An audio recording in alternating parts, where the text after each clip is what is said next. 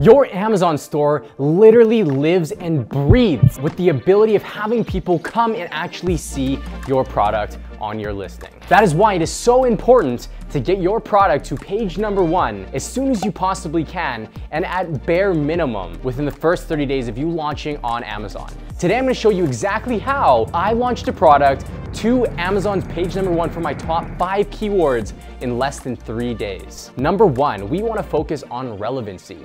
When you first enter Amazon, people don't know or Amazon doesn't know what exactly your product is. Now this is why we go and we do a big effort in finding the right keywords and doing our keyword research so that we can build a listing that caters to the search engine right? We wanna have the most valuable keywords, meaning people are searching up those keywords on a day-to-day -day basis meaning we can rank for those keywords, therefore get sales for those keywords. First and foremost, we need to make sure we have the most important terms in our listing. What we wanna then do next is we wanna identify an opportunity in those keywords that allows us to rank for them. Now, what I mean by this is most people will go and actually be like, hey, this is my main keyword, I'm gonna go ahead and launch for it.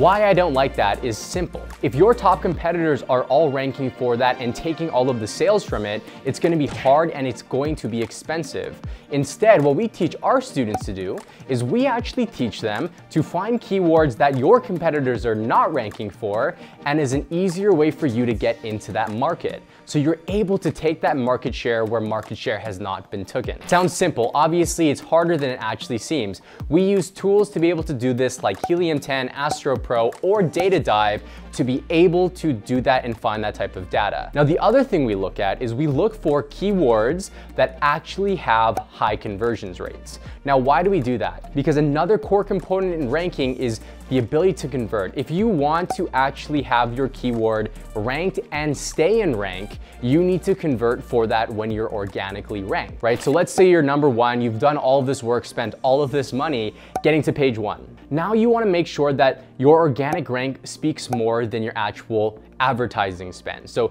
you're spending to get ranked, but when you get organically ranked, the idea is that you're sticking there, okay? You're sticking there, and that's what you want it to be. That's how you gain profitability, and that's how you can rank quicker. So by identifying keywords that are converting at a high level, you have that opportun opportunity to do that. Now the tool that we use is called Sellerise. Sellerise allows us to identify those top keywords and we use Data Dive to be able to identify which keywords are the ones that we can capitalize on and will be the easiest for us to enter. enter. When we do this, we go, we pick out our main keywords and this is exactly what we do when we set up our campaign. So the first thing we wanna do is we wanna first isolate those groups of keywords. Now I like to go for a minimum of three. It depends on if I'm working with a student, for instance, that has a lower budget. I might start off with three to five uh, main keywords. Now for me, I'm much more aggressive. I go for everything that I possibly can at the very beginning. Now the campaigns that you wanna actually set up are these ones right here. So number one,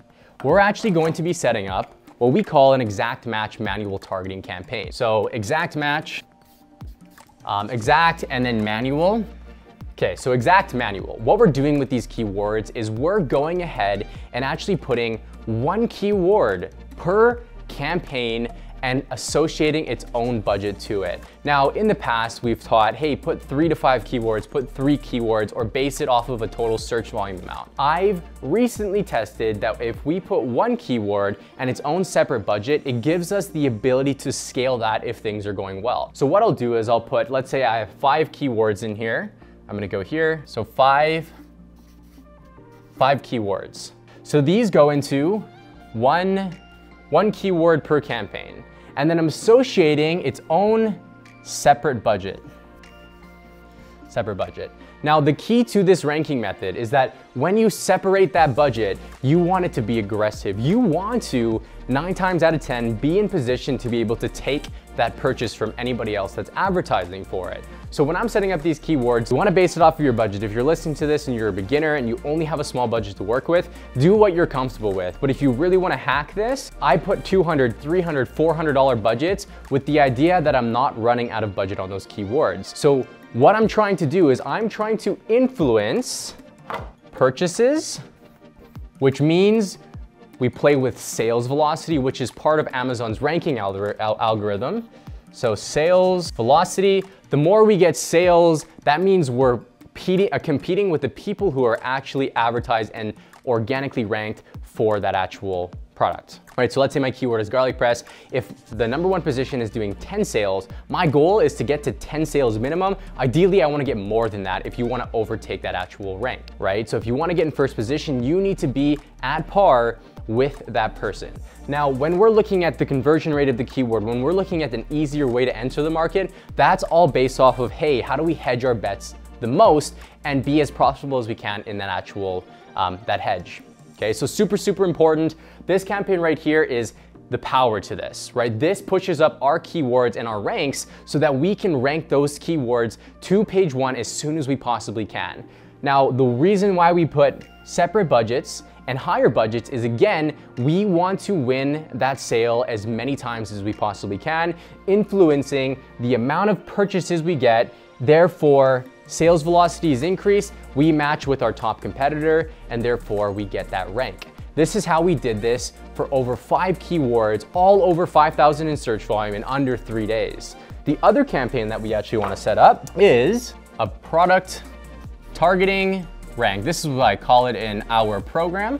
A product targeting rank campaign is a way to help influence your ability to get indexed for multiple keywords at a time. Um, an indexing campaign is really what it comes down to. Now, many times than not, the product targeting rank campaign doesn't perform very well. If it doesn't perform very well, as soon as you see that you're, you're for the majority of your main keywords, cut that campaign or cut any targets that aren't in fact working. It just means that you cannot steal that traffic from your competitors. But the idea of how this product targeting rank, uh, this product targeting rank campaign actually works is, I'll give you an example.